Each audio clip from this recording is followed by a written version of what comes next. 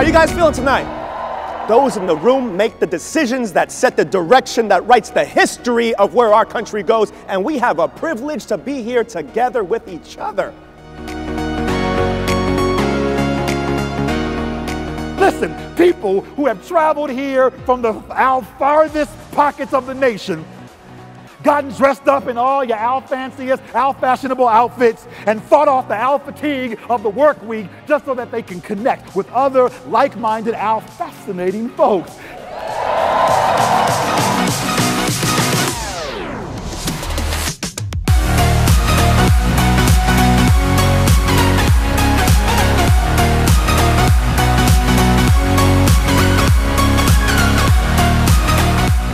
We need to move from fear to forward, from doubt to assertiveness, from many to one. We need to act as a community and we need to be unified because the time is today and the time to act is now.